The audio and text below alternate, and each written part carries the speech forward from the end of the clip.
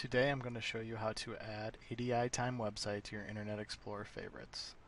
In the email that was sent out, go ahead and click on the hyperlink listed here. It will take you to the ADI Time website. Go ahead and hit the star and hit add to favorites. Moving forward, if you click your favorites icon, you will notice the ADI Time shortcut created. Thank you.